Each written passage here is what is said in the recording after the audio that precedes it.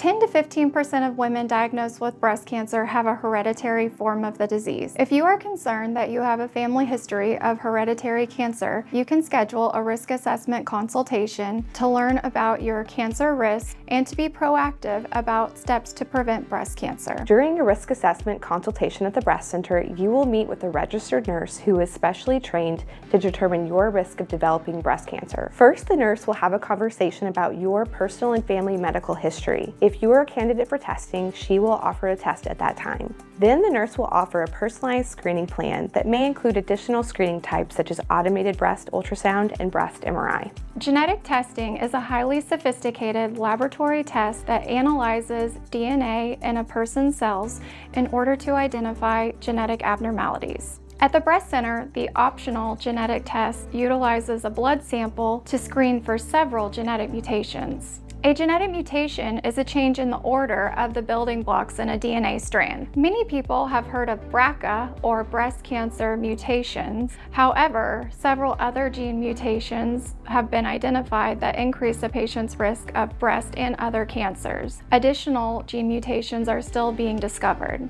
The following chart shows that a BRCA1 mutation increases a patient's risk by 55 to 65%, and a BRCA2 mutation increases a patient's risk up to 45 25%. Not all people with a genetic mutation will develop cancer. However, previvors or women who know they have an increased risk for developing a breast cancer during their lifetime have the opportunity to be proactive in order to decrease the risk and prevent the disease. The Breast Center has provided risk assessment and genetic testing for 20 years and tests approximately 1,500 women per year in order to empower them to be proactive about their health. We now provide genetic testing for every woman that we diagnose with a breast cancer.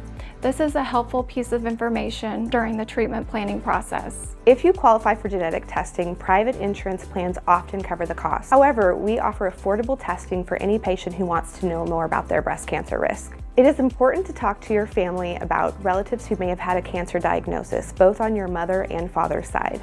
Here are some questions to ask your family. Who has had cancer of any kind? Where did the cancer start? How old were they at the time of diagnosis? Has anyone in the family had genetic testing? If so, bring a copy of these results if possible. Sometimes relatives do not want to have these conversations because it can bring up painful memories about when their loved one was diagnosed with cancer. It is important to encourage them to share and let them know that this information could help future generations. A family history of breast, pancreatic, ovarian, and metastatic prostate cancer greatly influences a woman's personal cancer risk.